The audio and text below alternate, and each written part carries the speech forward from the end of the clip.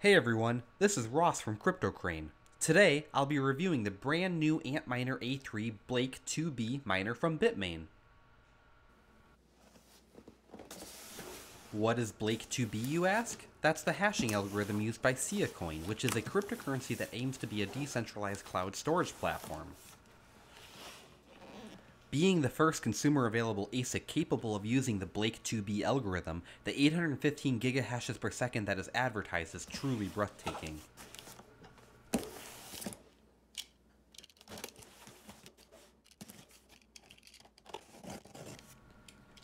Unfortunately, there are currently no other viable cryptocurrencies that use the Blake 2B algorithm, which begs the question, why didn't Bitmain simply advertise this as the Antminer A3 Siacoin miner?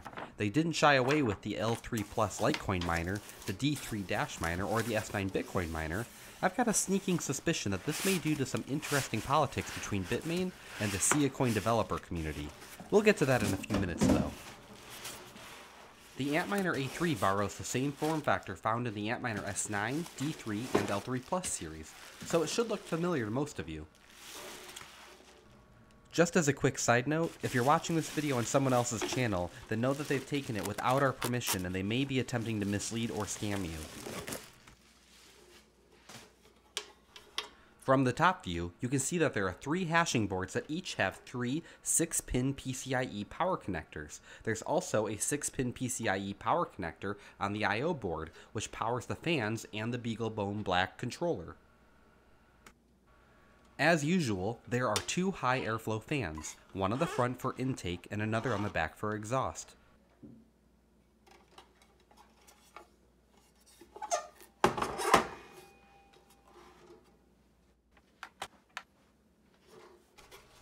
Still haven't figured out why, but people often ask how much these weigh. This one is just under 10 pounds.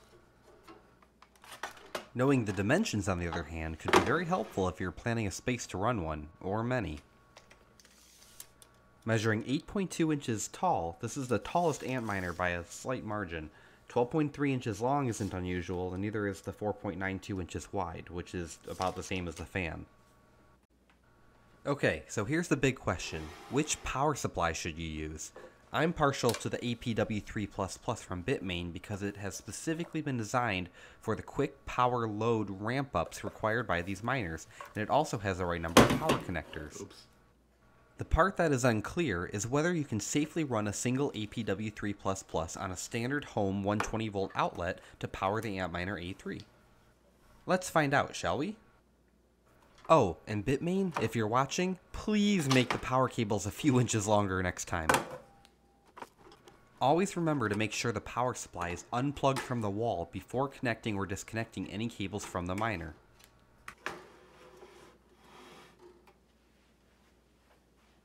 Here, I have a sound decibel meter to measure how loud the A3 is. According to Bitmain, it should be around 76 decibels. Also note that I'm using a wireless network bridge to connect the A3 to my home network. Okay, everything looks like it's ready, so it's time to plug in the power supply and start mining some Siacoin. Oh, before I forget, I'm using a standard C13 PC power cable to connect to the APW3++ power supply, which is not included.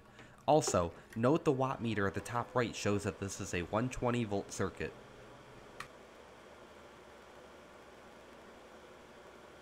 The fans start kicking into high gear at around a minute 30.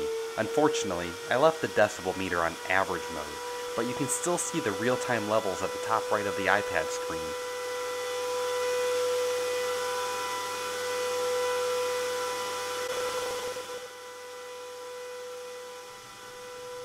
The Antminer A3 starts mining just after the 2 minute mark. You can tell by the spike in power usage on the watt meter, as well as by the green blinking status light.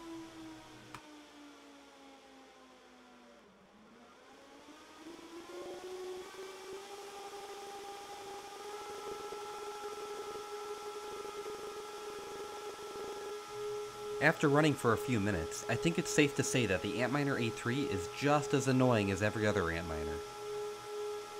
Seeing the power usage at 1375 watts is a bit concerning, especially since the advertised draw was supposed to be around 1275 watts, The 1375 watts it's currently using is beyond the 1200 watt limit of the APW3++ while on a 120 volt circuit. I cannot recommend doing this long term. It's not uncommon for people to lose hashing boards due to the power source being unable to keep up with the demand. Even worse, it could cause a fire. At 1375 watts on a 120 volt circuit, the A3 needs 11.45 amps. This means that you cannot run more than one A3 per 15 amp circuit, just like the S9 or D3 miners. To power down the Antminer A3, simply disconnect the power cable from the power supply. The power supply has large capacitors that need to fully discharge before you can disconnect the PCIe power connectors from the miner. The fans are a good indicator, so wait until they stop spinning before proceeding.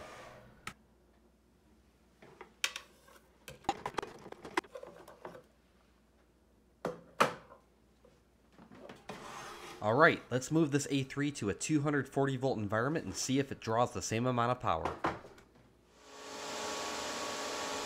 As you can see, using the Antminer A3 with an APW3++ on a higher voltage circuit saves about 100 watts, which puts the A3 almost exactly at the 1275 watts advertised by Bitmain. For this next part, I'm going to hand you over to our newest associate, Jason. Jason, take it away. Thanks, Ross. Now let's go configure the A3 that you just set up. From a computer on the same network as your A3, open up a browser and connect to the IP address. If you need assistance finding the IP address of your A3, you can look at our S9 video available at youtube.com slash cryptocrane. We also have a link in the description. Once you enter the right IP address and you're met with a page that doesn't look like the login page, don't worry, it's a pretty common issue. There are a couple easy fixes that can be done to actually get to the page you're looking for.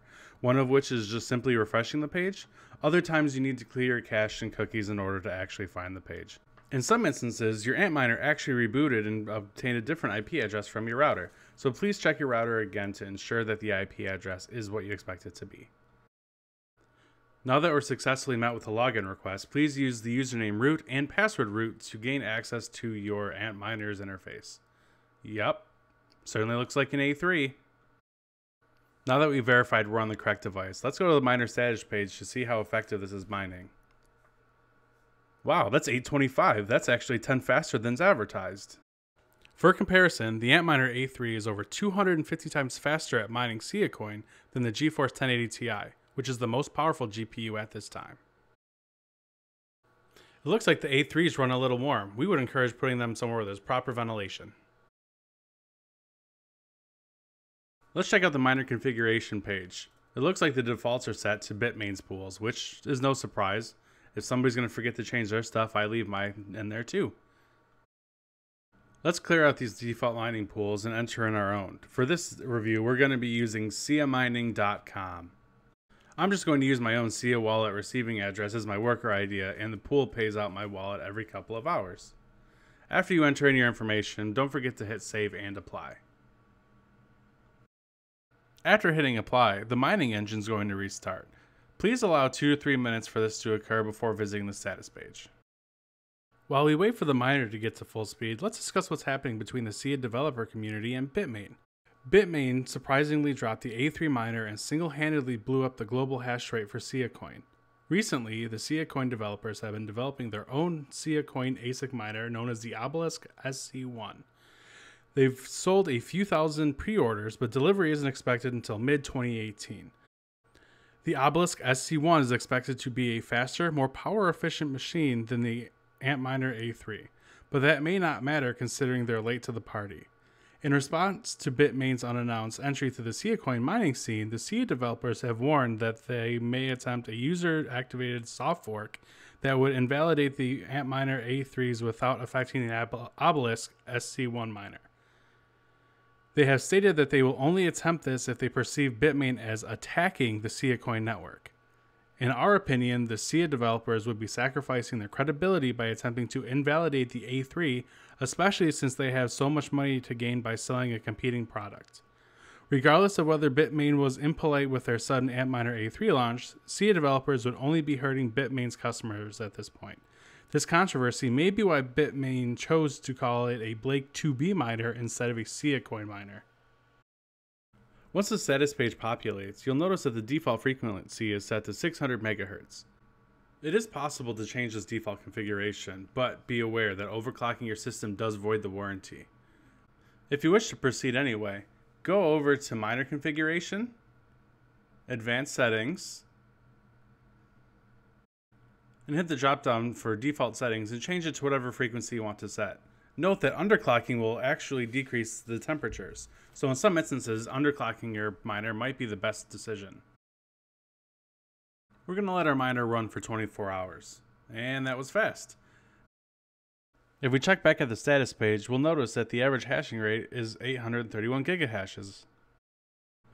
While testing, we noticed a high level of hardware errors. These errors alone aren't anything to freak out about. This merely indicates that a couple of the 180 ASIC chips are occasionally misfiring. As long as the hashing rate is above 815 gigahashes, your machine is working as intended.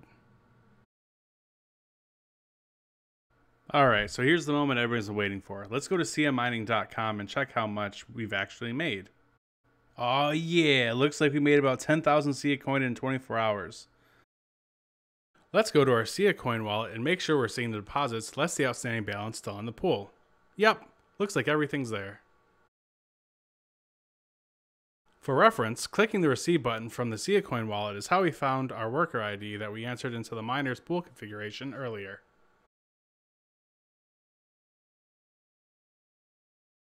Let's see how much 10,000 Siacoin is worth on Bittrex, which is a pretty popular exchange. So we had 10,000 Siacoin, which is equivalent to about 0.03609 Bitcoin, which based on the $11,000 cost per Bitcoin comes out to just around $400.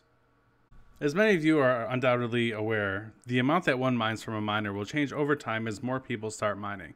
Since this is the first generation of ASICs miners for the Blake 2B algorithm, and the very first day that these are available, $400 represents the highest amount, assuming the values stay consistent. But with anything cryptocurrency, the future is always unknown, which is why it is so exciting. Thanks, Jason. As many of you are aware, the first generation miners for a particular algorithm are usually the most profitable. As more miners come online, one's relative share of the profits declines.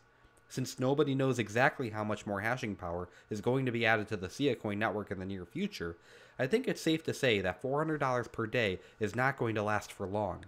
The real question is how low will the profits go in the future? To show you what I mean, let's go a little further into the future. Here we are 3 days 6 hours after starting. It looks like the A3 has kept performing well despite the hardware errors. The temperatures are still the hottest we've ever seen for an Antminer, so finding a way to keep these guys cool is extremely important. From the mining pool, we've earned a total of just under 27,000 Sia coin. As you can see by the recent payouts, our 4 hour earnings have fallen by over 50% and are expected to continue dropping. To see why, let's go over to the pool stats page. Here we can see that the hash rate has exploded since the launch of the Antminer A3. While this should bode well for Sia Coin itself, it remains to be seen whether miners will break even as quickly as they had hoped while they race against this tidal wave of new hashing power. Alright, let's move on to our final thoughts. We really like the utilitarian form factor that Bitmain has been using and believe it deserves a 10 out of 10. They are easy to repair and almost never suffer damage from shipping. We struggle to come up with any obvious improvements in this area. Ease of use scores a solid 9 out of 10. The only thing keeping it from a perfect score is the lack of an easier way to identify the device's IP address. Perhaps a small LCD status screen on the outside of the miner would suffice. We scored the noise as 2 out of 10, and that's being generous. These are not meant for your living rooms, people. In terms of speed, there's nothing in the world that is faster, and it performs slightly better than advertised. The 10 out of 10 score is mostly due to the fact that this is the first ASIC capable of hashing with the Blake 2B algorithm. We gave a 7 out of 10 for the power rating. While it's incredibly efficient compared to a graphics card, the fact that you can't use Bitmain's own APW3++ with a standard 110 volt circuit to power it long term means that most of us here in the US need to either upgrade to 220 volt circuits or get a different power supply. Between having the highest chip temperatures of any Antminer to date, the potential risk of being invalidated by a SIA developer soft fork, or the possibility of having a ton of hashing power dumped onto the market by future batches from Bitmain, we gave the Antminer A3 a future score rating of just 3 out of 10. Our final overall score for the Antminer A3 comes in at 6.83 out of 10. If you liked this video, please subscribe and let us know by leaving a comment. Also, if you're interested in purchasing any cryptocurrency mining hardware, check us out on Amazon. Remember though, we only sell on Amazon, so watch out for fake sites that are using our name and logo.